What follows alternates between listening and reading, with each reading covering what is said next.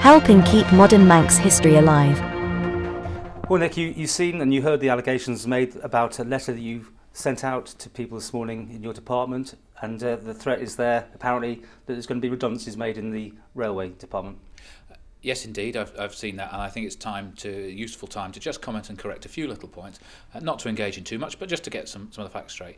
Uh, firstly, I met the staff this morning myself, uh, along with some senior managers, uh, and we met a total of 34 staff. Now, this is initial consultation whereby we are saying to people, we've got a problem. We don't expect next year to have enough money to pay all the bills we have to face in the department. we have to look at options.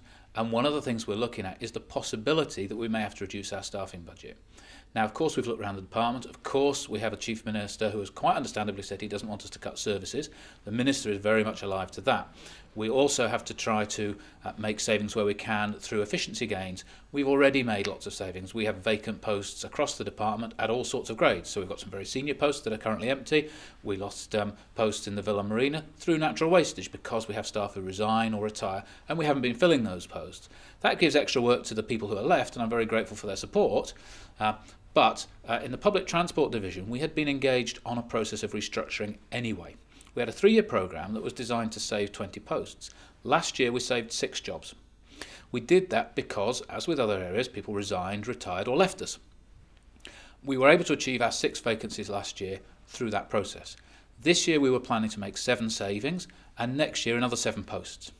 However, the financial target we expect to be set at February Tynwald means that we probably won't be able to afford to pay the salary bills, so we have offered to bring forward those two years into one.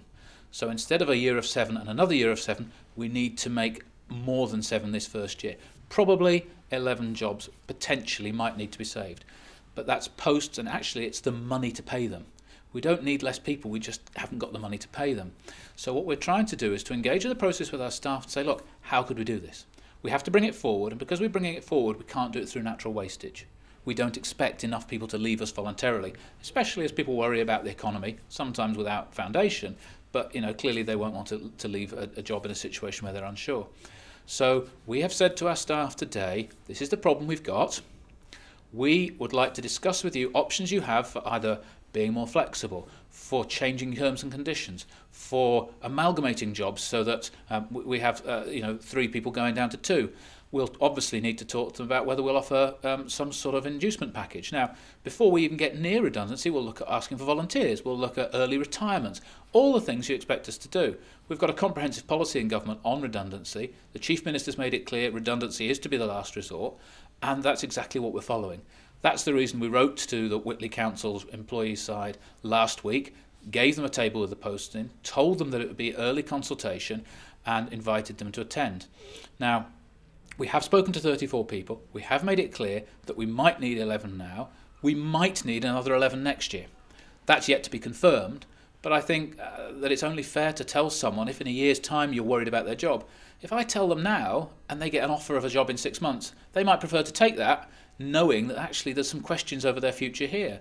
Uh, if I don't tell them, they could pass by a perfectly good opportunity. So I think it's important that we're honest with our staff and we give them opportunities to at least think about helping us out of our problems. Well, I mean, that appears to be clear to me what you just said there, but it obviously didn't seem clear in your letter, possibly, what you were saying or trying to do. Would you agree yes. with that? Uh, I, listening to the tape you've, you, you've, you've played me, it appears not to be clear. Now, I sent two letters last week explaining the position. Um, yes, there was some, a degree of short notice involved, and I've apologised for the, for the lack of time available. Um, uh, we um, regard as our priority our own members of staff. That's why I insisted on meeting them. Yes, there was an offer to, to bring the meeting forward to yesterday afternoon. Uh, that offer was made at 1.30. Um, uh, you have to understand, Paul, as I suspect you do know, um, the railways are quite extensive. And we had people working in Douglas, we have people working up in Ramsey, people down in Port Erin, and on the top of Snaefell. We actually had staff brought in today from the top of Snaefell. Mm.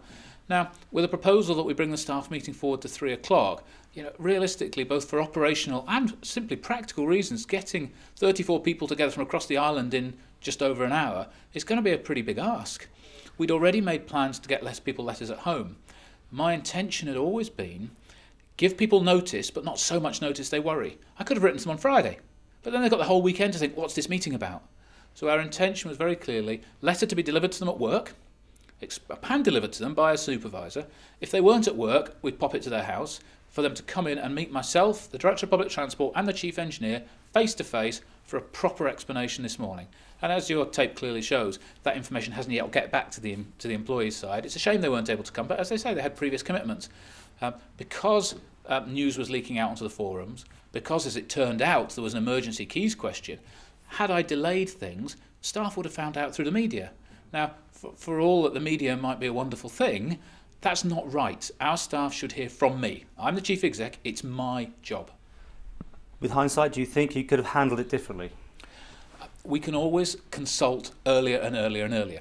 We were given, I know there's a reference to the restructure being done in May. That's when we started. We didn't expect a problem then because it all being done by natural wastage. in early January, we were advised and our budget targets were confirmed, and we knew that we had to take some much more significant action. We started discussions with the union on the 17th of January.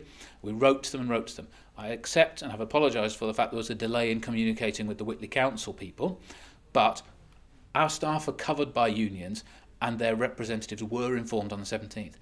This is the initial consultation phase now. And I almost wonder if we're expected to consult on consulting. Mm. And this is a discussion phase. The staff have been told today that we have three weeks, that's what we set aside for, for meetings and discussions. Some of them came up with money saving ideas today. They, uh, one of the gents said to me, Look, um, you use a contractor to do this. We could do that. We're happy to do it. Why don't you let us do it? Well, if that saves five grand, that's five grand start. I don't know what the value is, but you can get that's what we're doing. We're talking to our staff to work with them to get them to help us. So at no time were you going to hand out redundancy notices today? I, there's no way I could do that. We have a process to follow in government whereby you go through. Before I even get anywhere near thinking about that, we'll look at um, redeploying people into other departments. We'll look at asking for volunteers. There's absolutely never any intention, and the letters I've all always that I've sent to all parties have been, we will start the process of informal consultation. There hasn't even been a decision reached about whether there will be redundancies. We're just being honest with people and saying there may have to be, and we are telling you as soon as we know. And would you concur that most of these jobs will be at the bottom of the triangle of the, the whole business? No, I'm afraid I wouldn't concur, Paul, because one of the jobs there, and I, I'm not going to mention it because there's only one person in it, is a senior engineering job. Across the department, we've had uh, jobs at senior civil service level that are currently vacant. So um, we will look anywhere across the department, at any grade, in any role, to find a saving. We need to be driven by the services we offer and the operations we carry out. So if we can do without a job, we certainly will. Uh, and just for clarity, no one has been told they are surplus to requirements. Our staff work hard and we value them. What they have been told is if at the end of the process there is a staff surplus, then we will have to apply the policy. The phrase staff surplus is what was used. I have certainly not put in a letter that someone is surplus to requirements. Please subscribe to the Isle of Man TV archive channel. Thank you.